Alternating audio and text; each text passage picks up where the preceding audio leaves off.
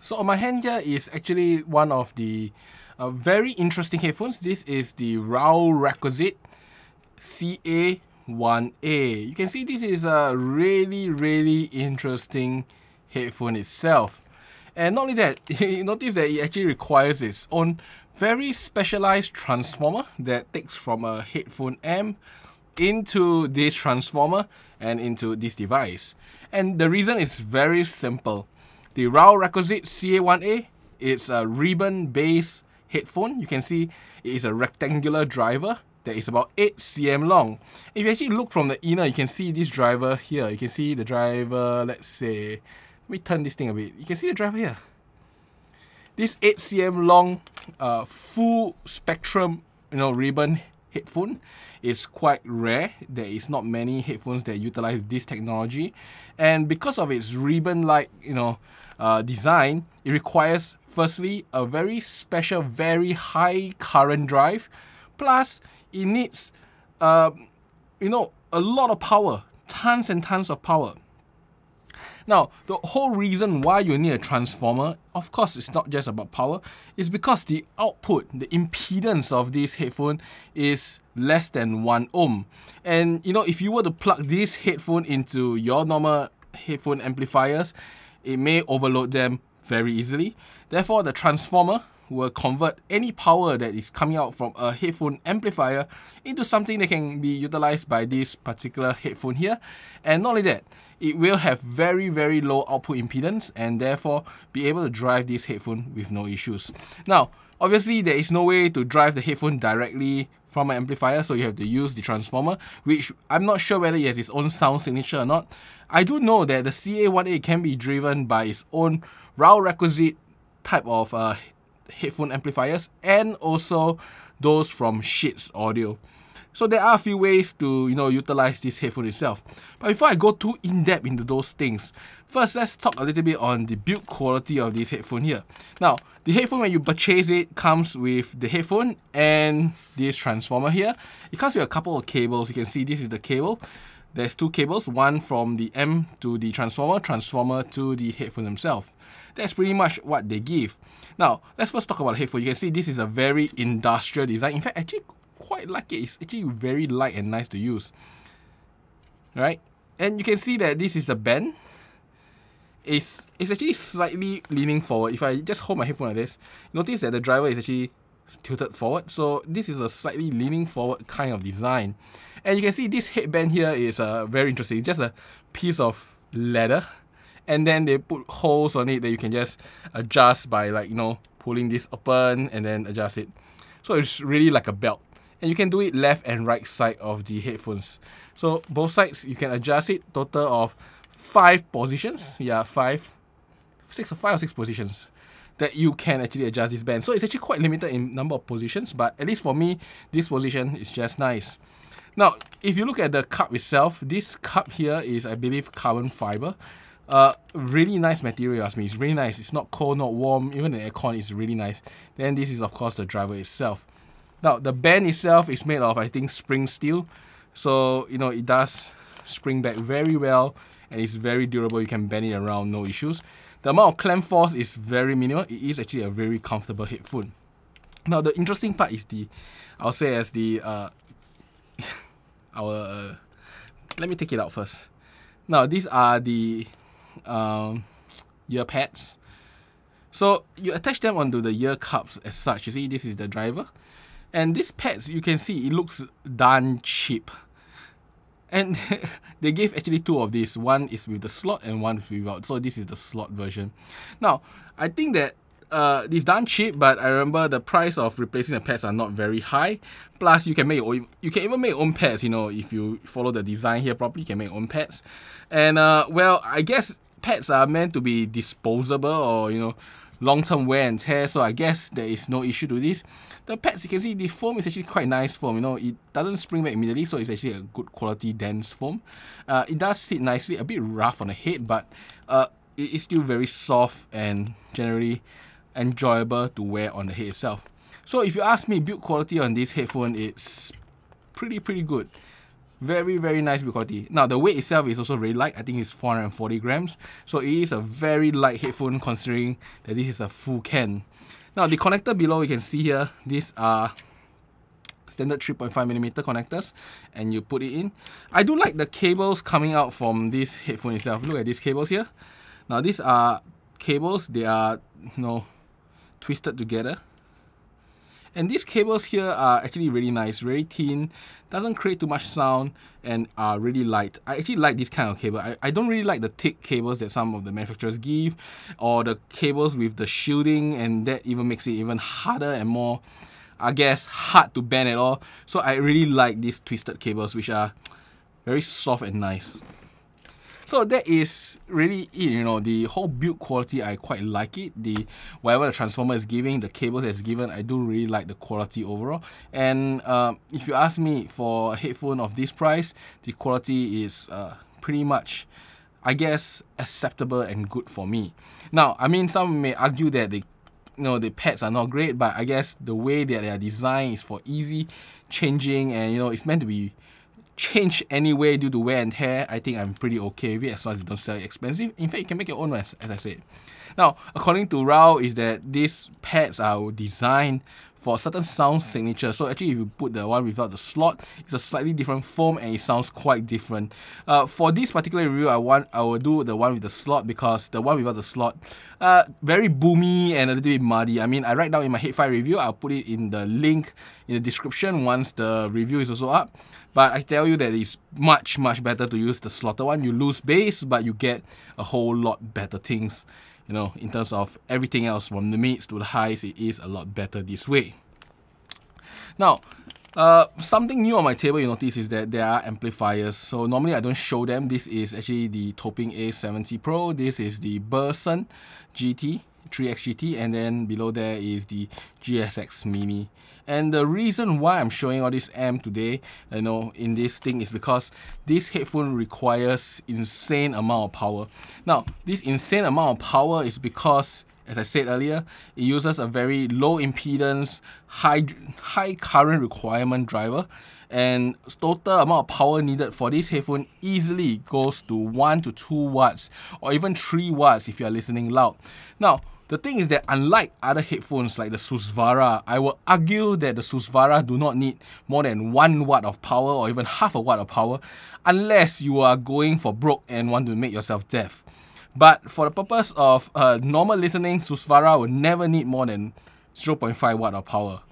But this guy here needs that amount of power. It needs easily, you know, in enjoyable listening uh, or says condition, you will need at least 1 to 2 watts of power. If you listen loud, easily 3 watts of power or even 4 watts of power. Why do I know that? Because my player here, this is the M17, it outputs 3 watt of power, gets overloaded by this uh, headphone if I was listening modern song with a measured peak of about 105 decibel, it starts overloading. Now, that is still very loud, very, very loud. But you have to understand that the Susvara wouldn't even take anywhere. It would take only a fraction of the power of 105. But this guy actually takes more than that easily. You know, this guy, I guess the amount of power required is at least three to four times whatever Susvara needs. Maybe, you know, this is quite equivalent to or even worse than the HE6 and uh, I guess only the tungsten may need more power than this. So as such, you know, all the amps I have here are amps that can drive that amount of power, up to 6 watt of power easily. This is, uh, the A70 I believe can drive up to 10 watts. This is like 10 watts and this is like 6 watt and all of them do work very well with this headphone. But before I talk about the sound quality of the headphone with the amp, let's talk a little bit more on you know the general sound quality of this headphone here. Now, if you have seen certain reviews out there, people always say that the soundstage is big, and yes, the soundstage of this is big. It is a really huge and immersive soundstage. I would say it's immersive because you feel like you're drowning in the soundstage itself. It is extremely wide soundstage. Uh, but that being said, even for a wide soundstage, it doesn't have very good imaging nor very good layering. Uh, it feels like you roughly know where the sound is coming from, but you never quite really feel where the sound exactly is. It feels like a well diffused hall. Means the details are all there, the instruments are all there, it's very clear. You know roughly where all the instruments are, but you know, you, don't get a distinct this instrument is at the 5 degree mark, this instrument is at the 10 degree mark kind of thing. You get like this instrument, uh, I think it's on the top left kind of feel. So this is really how the sound soundstage and the imaging sounds like for the CA1A. Now, in terms of its general tonality, I think this is on the neutral to slightly bright tone, slightly cool tone. Uh, it is not a very bright headphone, by the way. In fact, if you ask me in terms of its general brightness, I think it's actually quite a little bit dull on the higher frequency. In fact, this headphone has almost no sibilance in the higher mids or lower treble region. Uh, there is probably a dip there and you really don't get sibilance. Now, for people like me, I do like that, but some people like the bite there and the excitement there. I don't like it, but um, I like this actually sound signature itself. A slight dip in the 4, 5, 6 kilohertz kind of range where sibilance is. So this guy has very little sibilance. Of course, it comes at the cost of certain instruments who are in the region. It sounds softer or weird with this particular headphone. Now, that said, no, the higher treble is fine. You know, there is still the sparkle, still the very nice, uh, I would say as, um, how do I put it? Sparkly sound that's a bit hot but not exactly overwhelming. The treble is pretty nice on this. It's just only that region where sibilance is, it's actually quite toned. Now, uh, when you actually go down the range and you go down to like say the mids itself, I think the mids are very nice. I think guitars and violins sound really good as long as they're mainly in the mids, not in the higher mids. Sounds really nice, very plucky, very fast. One thing about this headphone is that it is very speedy. The transition, the transient energy to be exact, is very good for such instrument. All the all the string and plucky instruments just sound really nice on it. Very fast, very quick, very plucky. Uh, the response of the drivers to the power is fantastic. Now, when it comes to the lower mids uh, and the bass region, I think that is where things are a little bit later. I think the lower mids onwards, it starts reducing. So it's actually a slightly neutral and more towards the cool side of sound because of the lowering of the lower mids. And into the bass region, well, there is bass, there is impact, but you know, it's not a lot. And sub bass is uh, very minimal. I think the sub bass on this is really, really little. So if you are looking for the rumbly feel, no, this headphone don't give. If you're looking for just impact, I think this headphone still gives the impact itself. Now, I want to cover also a little bit on the clarity. Now, as I said, the soundstage is very wide, uh, and you know, it's not very precise, but clarity is still really, really good on this. Details are also very good as long as they're in the mids region and high. Now, for the bass region, I would say as um Sub bass has almost no feels and texture to it.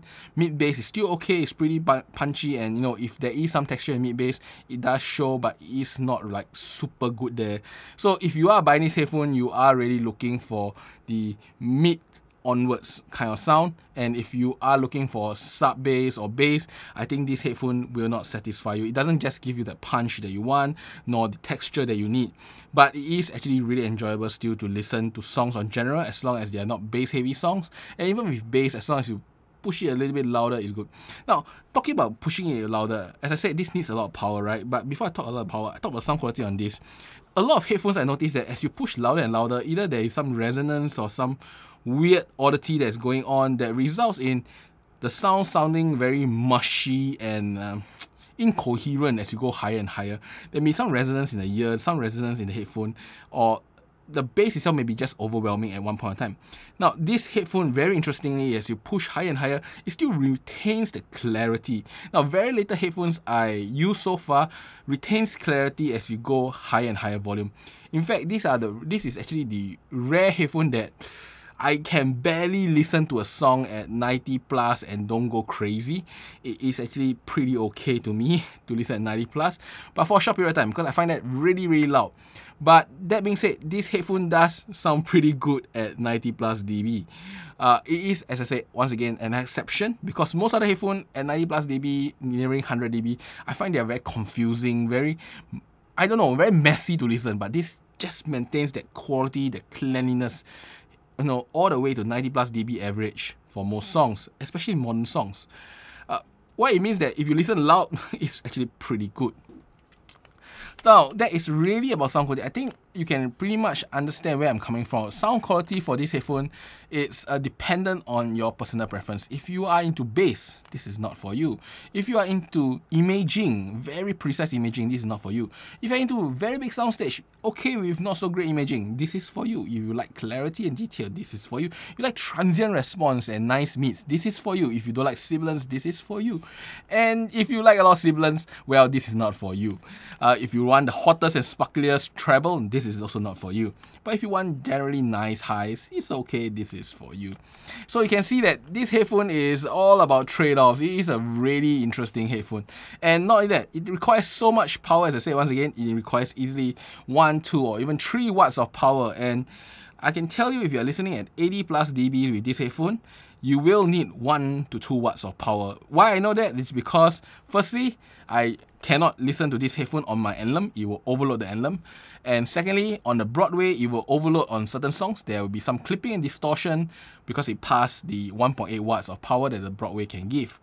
And uh, on the Ferrum, you know, the hip you can actually turn around and then look at the power requirement. This is the headphone that will actually show 20 volts of power or 20 watts of power onto the you know hip uh, power output, which is quite rare. I can tell you that it's 20 M or 20 watt. I'm not too sure. But the numbers do change, and that is something abnormal because many other headphones don't even change the number there. Even the Susvara goes less, way, way lesser than this headphone when it comes to listening at equivalent level itself. Now, when it comes to amplification, power is one thing. I will just say that if your M do not provide you 3 to 4 to 5 watts of clean power, don't bother getting about this, this headphone. This is a headphone that needs power. Do not even bother powering with M less than 3 watts. You will overload in certain tracks. Now, if you fulfill that, you know, that wattage thing, which a lot of M's can, like the A70 here or the Burson can, not the issue, right? Then it's about what kind of signature you want. Now, even though there's a transformer in between, I don't know what kind of sound signature it imparts to the headphone itself, uh, it does bring some of the M quality forward. So with the A70, I feel that it's a little bit lesser on the mids and a little bit more clean sounding, area sounding. While with the Burson, it gets that clarity, the blackness in between the tracks, but it also gives a very nice, uh, I'll say as good amount of body for the mids and very nice punchy bass. As I said, the A70 is like very clean, very clear. This is just gives you a little bit more body, a little bit more meat, and a little bit more punch. It feels more enjoyable to listen. Now, the GSX is very interesting. It gives a lot of body. It makes it a little bit thicker than it should. And maybe for this headphone you may like it because as I said it's very fast, very transient, very enjoyable. So maybe some smoothness will make it better. Both the Burson and the uh, I'll say as the GSX Mini does increase the warmness of the sound slightly, really really slight. Uh, while the A70 Pro is just clean and clear, you know, really as transparent as it gets for that headphone itself. Uh, with the A70 Pro, the combination.